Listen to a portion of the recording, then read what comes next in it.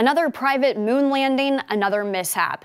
Texas-based Intuitive Machines' latest lunar mission, the Athena lander, touched down Thursday, but not as planned.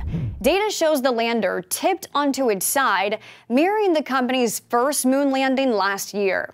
That position could jeopardize the lander's ability to generate power and carry out critical scientific experiments. Athena touched down about 100 miles from the moon's south pole, a key region for future exploration due to its potential water ice deposits. The lander carried 11 payloads, including a drill to search for water in the bedrock and what was meant to be the first cellular network on the moon. But its compromised position may prevent some of those systems from functioning. This is the second lunar landing in just days, but with vastly different outcomes. Days earlier, Firefly Aerospace's Blue Ghost lander made a near perfect touchdown. The Texas based company became only the second private firm to achieve a fully stable moon landing, delivering NASA payloads and transmitting images within hours of its arrival Sunday. For Intuitive Machines, it's another setback in its push to lead commercial lunar exploration.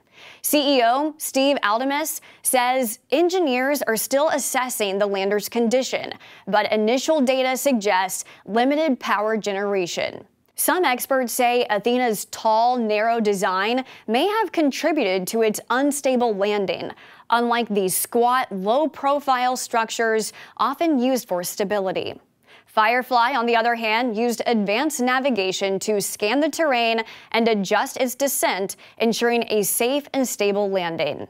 Still, some experiments may still be salvageable. NASA says Athena's drilling system could still analyze lunar soil if it's positioned at the right angle. Other instruments, including a laser reflector array and a small autonomous rover, might still operate independently. The contrasting landings raise broader questions about NASA's reliance on private companies for lunar missions. Both Athena and Blue Ghost are part of the agency's Commercial Lunar Payload Services program, designed to cut costs and accelerate moon exploration. Firefly Aerospace delivered, but Intuitive Machines now faces another high profile challenge. Mission performance plays a key role in future funding and project selection, and if Athena's power limitations prevent it from completing key scientific objectives, it could affect the company's standing in the commercial space sector.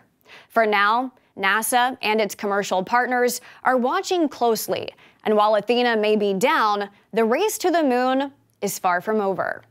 Now the focus shifts to whether intuitive machines can adapt before its next lunar mission. For more of our unbiased straight fact reporting, download the Straight Arrow News mobile app or visit us online at san.com.